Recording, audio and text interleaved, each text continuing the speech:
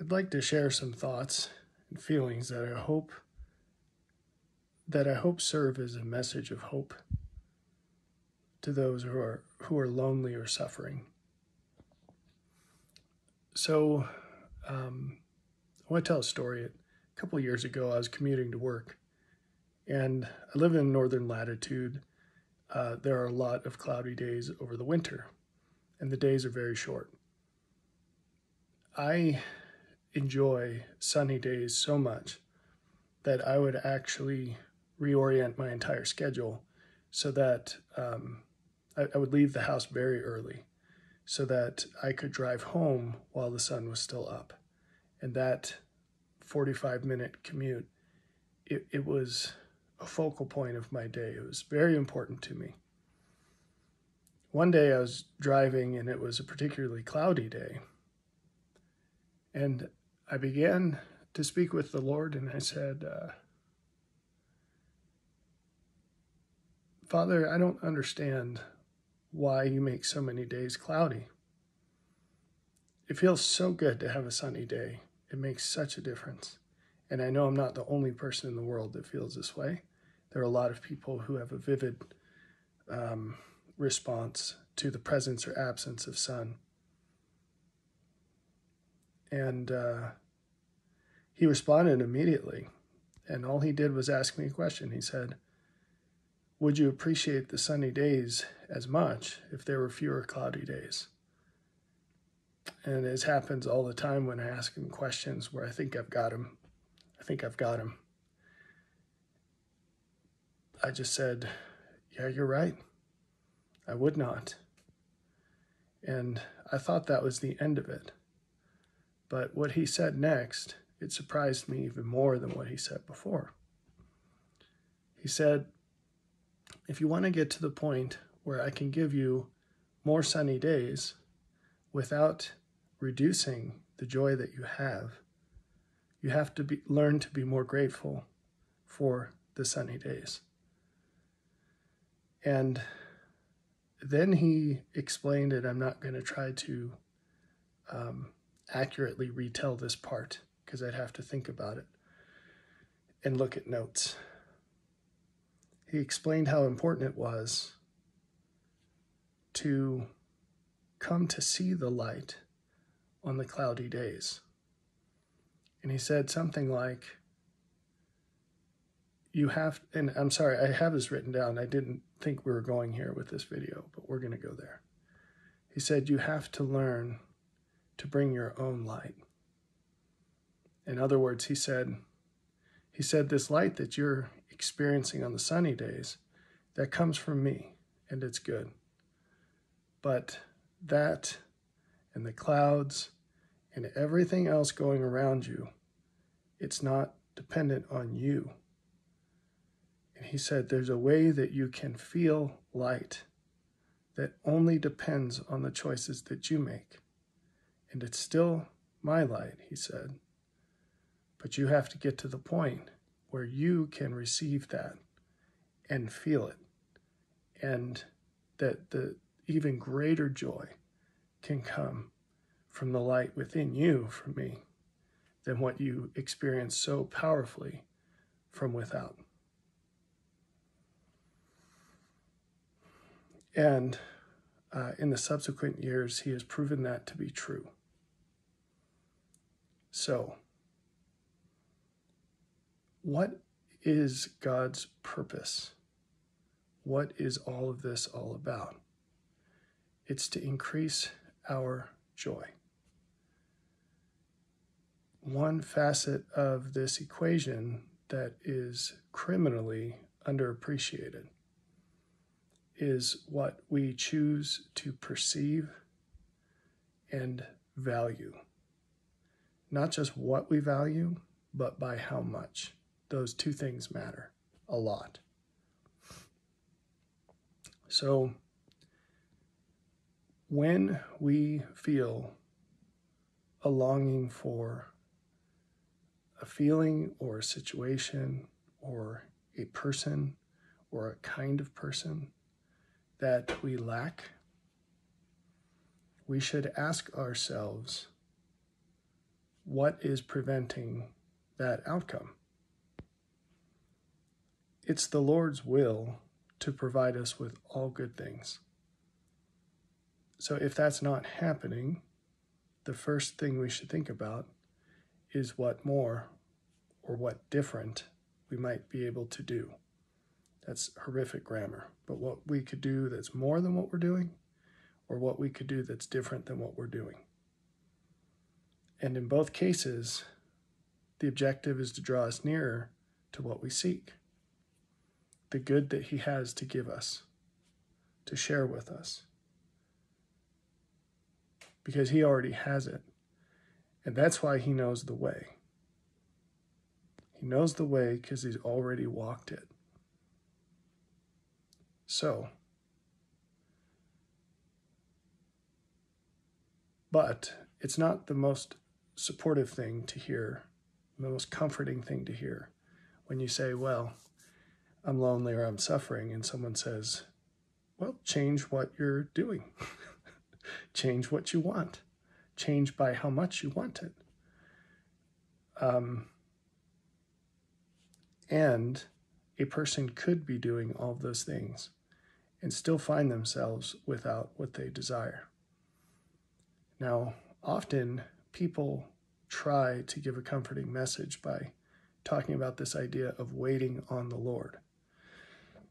This is a phrase that, um, like many in the scriptures, it means something very different than what you will understand if you hear it in typical channels. Not just YouTube channels, but like church or some sort of cultural source. You'll come away with the definition that's very different than what it says in the scriptures. The, con- the scriptural concept of waiting, it's coupled to growth. It's not a passive activity, and it's never arbitrary. When it comes to good things that we desire with and from God, he does not have a stopwatch in heaven where he says, All right, this person's just got to wait a little longer, and then I'll send along what they've requested. It does not work that way. There's some deep thoughts here, but I'll try to I'll try to treat this superficially. When you think of time, you think of this precise, consistent measure and that's an illusion that's only possible because of modern technology. It turns out that whenever we're talking about time, we have to have something, um, basically something greater than ourselves as a reference point. And it has to be a process. There's no such thing as anything related to time that isn't a process. There's, there is nothing that is a perfect, repetitive uh, period. So if you look, it doesn't matter what you look at. Um, anciently, the Hebrews used the moon, the cycles of the moon, as a clock. And they'd actually have someone sitting at night watching the sky to announce, for example, the new moon and they'd mark their months by this. And then the days in the month had special significance and very important things that had to be done on precise days. But it was all based off of the moon, which no one here controls, right? So um, it's no different today, even though it's masked. We don't have some guy in a tower watching the moon. But even if you were to look at the atomic clock, it's measuring a process that is is not precise. I don't mean that the measurement's not precise, although that is true. Uh, I mean that if you put enough decimal points of precision on it, you will see that it varies. An atomic second is not a perfect second. There is no such thing as that in nature. So um, it's just so much more precise than would ever matter to any human in the window of perception that we have, that it doesn't matter. why did I go into that long explanation? Well, when we talk about waiting on the Lord, there are things that we can do to accelerate the process. And there are things often that other people have to do as well. So, what are some of the things that we can do to accelerate the process, which will, which will yield a lot more comfort and peace in us, because we'll get away from this idea that it's some arbitrary, passive state, just waiting, and you tie into this idea of that there are conditions for every blessing that God gives, and He's impartial, He's perfectly fair. And so the second you fulfill the conditions, the blessing's yours. So, one of these is trusting God. We could talk about this forever, so I have to keep it super brief. But one aspect of trust in God is to trust His timing. And by that, I hope it's clear, I don't mean just He's got an arbitrary stopwatch in heaven. I mean to trust that He understands the process if you're baking a cake and you try to cut the bake time, you're going to be in big trouble. There are other processes. I don't know if you've ever made soap. It is amazingly precise. You have to get everything just right or it's not going to work. There are chemical reactions that are that are very picky. Um, anyway, side note, I, I did this, we, we did this thing as a, as a family. We went and we gathered pine tar and our objective was to make soap uh, out of out of things that we sourced right here in the woods. And so I had bear fat for the fat, um, and I had pine tar for the scent. The only thing we, we couldn't get is lye because there are no hardwood trees here. And you can get lye out of like uh, hickory, ash, and things like that, but we don't have any hickory. I tried, couldn't get them to grow. Anyway, it's really precise. And so almost always people will use a recipe. And if you have to go off of that, uh, if you have to divert from the recipe, the odds of failure are really high and you're going to have to run many batches. Excuse me. I'm just getting over a cold, so I apologize. You'll have to run many batches to get the quantities just right. Anyway, so God's got recipes and you don't want to mess them up because he's already perfected them. He's like your grandma that's already figured out how to make spaghetti, and you're not going to improve on that. So you just go with her recipe, right? Um, we all ought to react to um, to whatever he provides with implicit trust, not just to the point of I'm going to let you smack me down if that's what it takes, and that is what it often seems like. Although, if we really understood his love, we'd never describe it that way, um, except for effect, with those that don't yet understand. But also, we react with joy. So, one of the tests, like when you're cooking something, usually there's something you could do. If you're making jam, you want to make sure it's gelled. I mean, jelly, not jam. You want to make sure it's gelled, you do the spoon test.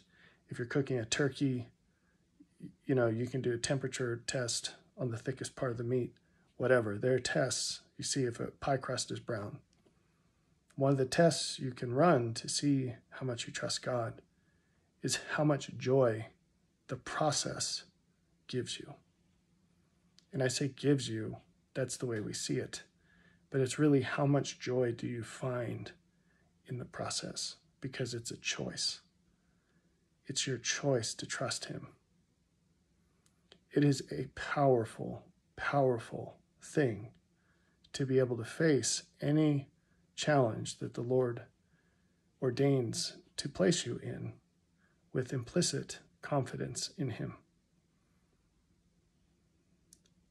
Unconditional trust in the Lord so that no matter what comes, your reaction is joy. Even if it's even if you can't say why. Because you just say, well, I don't know where this is going, but it's got to be good. If it's this bad, it's got to be good. That's That's the attitude. Because he's fair. And so his justice would require that the harder it is, the better it will be. These are simple ideas, but they are so important and they're so rarely understood and even more rarely lived and believed.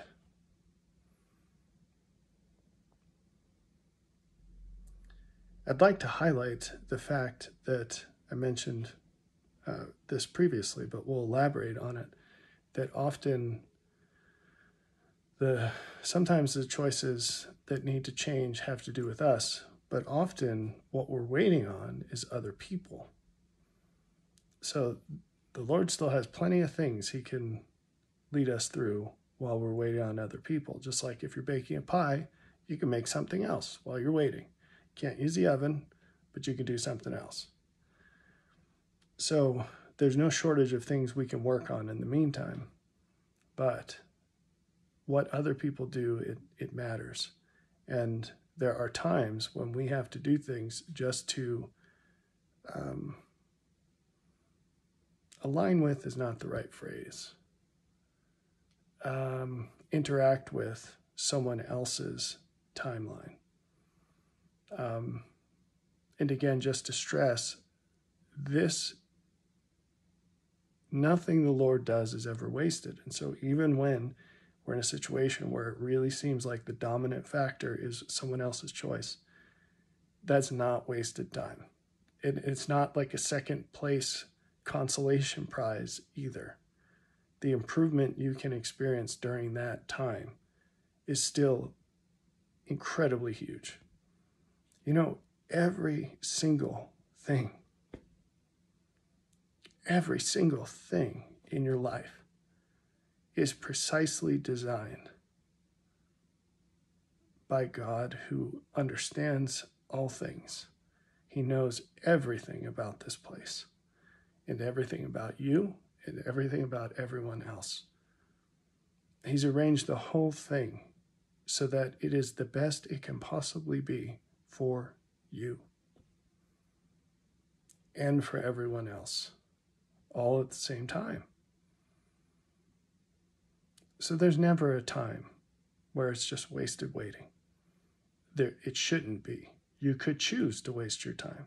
Just like if you have to, you know, if you're waiting for an important call or email, you can just sit there if you want to, or you can use the time for some other improvement. Go to the next thing on your priority list. If you expect to be waiting for 45 minutes, find the most important thing that you can finish in less than 45 minutes or make a significant improvement on or, or progress in. And that's what you do. So it's the same way with this. Another um, another choice we make that determines the timeline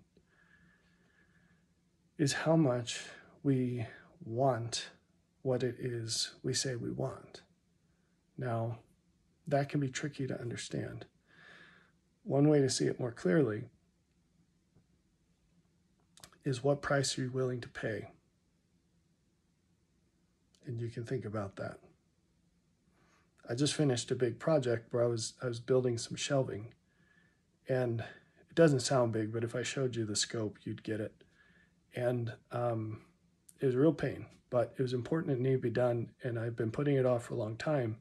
There were other things that were more important and it hit the the conditions hit where it was the most important thing and i spent a lot of time and a lot of money getting it done because that was the most important thing and so um, i set other things aside we spent the money we got it done um,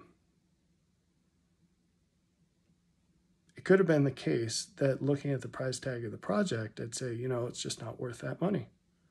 And so I'll set it aside because I don't actually want this for what it would cost. So often we allow our desires to drift out of reality. And we say, well, I want this, or I don't want that. But I'm not going to think at all about what that's going to cost. so, an example of not wanting something is sometimes people don't want to make hard choices. And they say, you know, that's just going to stress me out, or I don't want to have to worry about that, or it's scary, or I kind of know what I need to do and I really don't want to do it, so I'm just going to ignore it. That's fine. But all of that carries a cost. And you have to look at that cost and say, is this worth it? There are things you can avoid that are like time bombs, speaking of time, and the damage they will cause long term is enormously greater than whatever short term pain you're trying to avoid. And so, one trick with this is to learn to love your future self as much as you love your present self. It's the silliest thing to say, but that is the problem is you don't like that future person. You do things all the time to hurt them. You steal from them all the time. All the time, every day, till you fix this. And when you, you know, we read that for the Lord all things are present before him. So it's as if there's no time. We have to grow into that. We have to grow in, you know, we think the struggle is loving our enemy. That's on the docket. We need to handle that too. But way before that, we have to actually learn to love ourselves. If you don't know how to love your future self as much as you love your present self, you are not prepared to learn to love your enemy as much as you love yourself. Because you don't even love yourself yet. You just love yourself right now.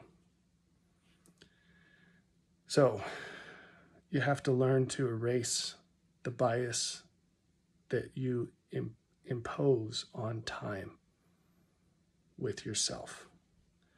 And you have to maximize the long term benefit.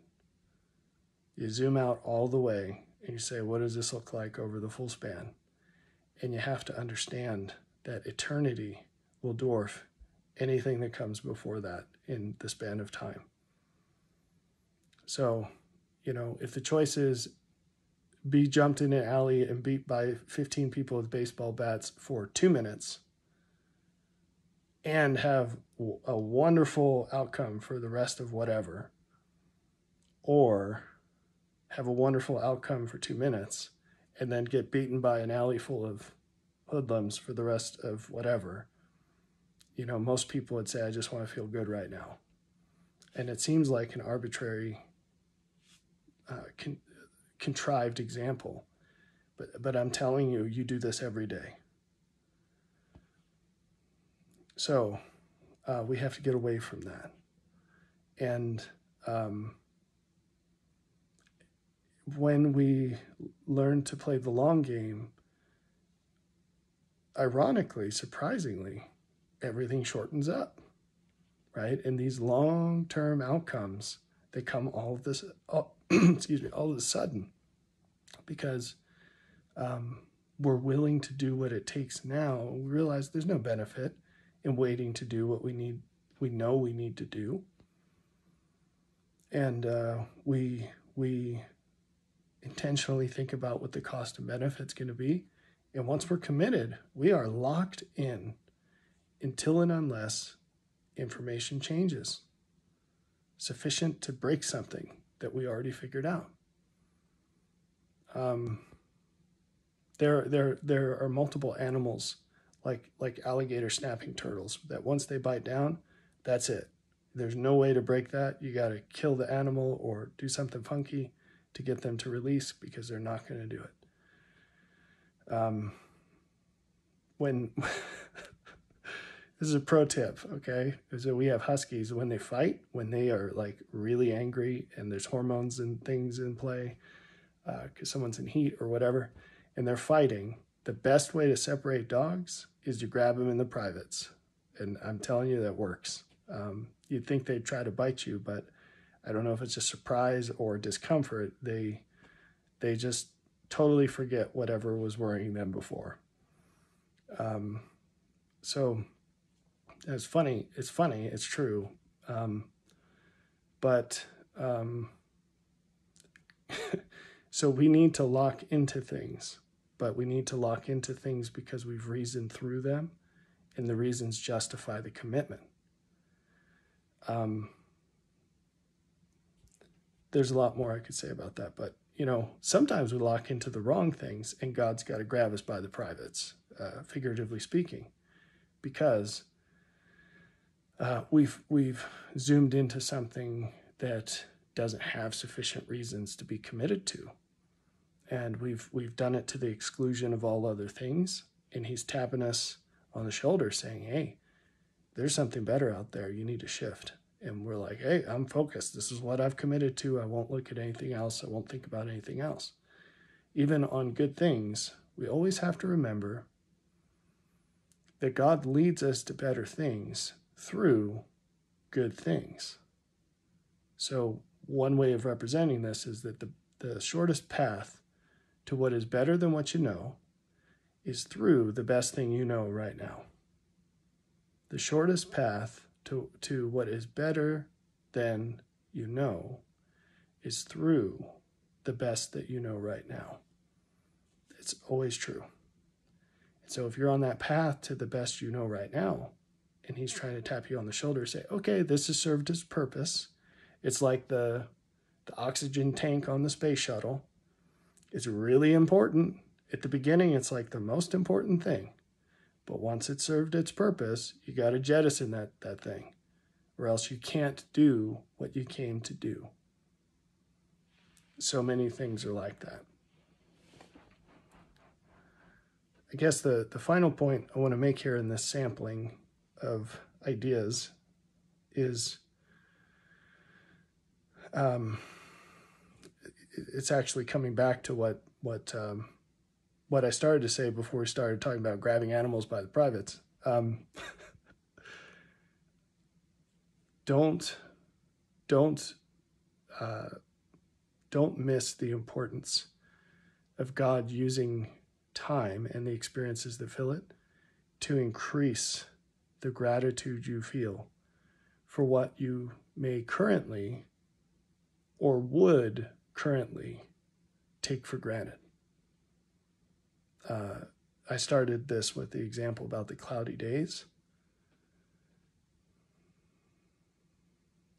I'm going to try really hard to say this clearly. Everything, every situation, every idea, every accomplishment, every person, everything, every scene in nature, every song, every book, anything you can describe in mortality, it has a range of potential perceived joy. That max in that range is the greatest possible joy that can provide. Where we are on that range with any of those things, it's a result of the reactions we choose to the processes that the Lord sends to us. The intent of the processes is um, to develop our discernment of value. So, in one sense, a very important sense, the objective of life, God's objective, is to orient us to the things that provide the greatest joy and to increase our perception of that joy to the maximum. Because where we are on that slider results from our choices or reactions to his processes, which is all really one process. Because it's dependent solely on our choices, different people will end up with not just different things, but in different perceptions of the value that those things provide. In his task is so that when this is all said and done, every single person has the greatest joy that they were willing to receive. And joy comes from value. the value has to be in the thing and it has to be perceived. Those are two separate things. So that's his purpose. And this is why there's a such thing as waiting on the Lord. So if you understand all of this, then you can employ these ideas in your life to have much greater trust in God, much greater joy in the journey, and you can arrive at much greater joy at the conclusion of the journey than you otherwise would. And perhaps even more important than all of that, you'll have much greater tools to help others navigate to greater joy for themselves.